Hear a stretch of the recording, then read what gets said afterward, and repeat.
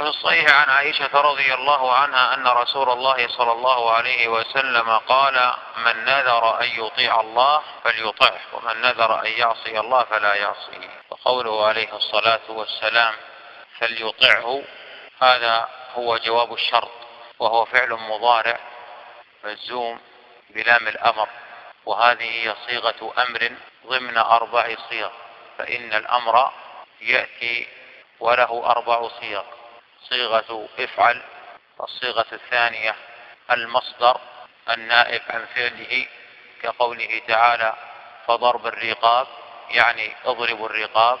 الثالث اسم فعل الأمر كقوله تعالى يا أيها الذين آمنوا عليكم أنفسكم عليكم يعني الزموا. والصيغة الرابعة هي الفعل المضارع مع لام الأمر كما في هذا الحديث. ومن نذر أن يعصي الله فلا يعصه. القول في من هنا؟ كالقول في من السابقة. وقوله عليه الصلاة والسلام فلا يعصه يشمل المحرم.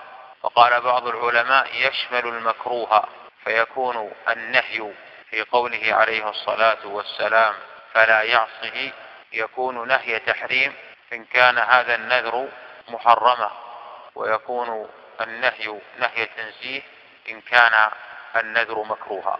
وهذه هي صيغة النهي فالنهي له صيغة واحدة فهو يختلف عن الأمر. الأمر كما سبق له أربع صيغ أما النهي فله صيغة واحدة وهو الفعل المضارع المسبوق بلا الناهية فقوله عليه الصلاة والسلام فلا يعصه لا هنا ناهية دخلت على الفعل المضارع. والأصل في النهي هو التحريم إلا إذا ورد دليل يخرج هذا النهي عن التحريم إلى الكراهة.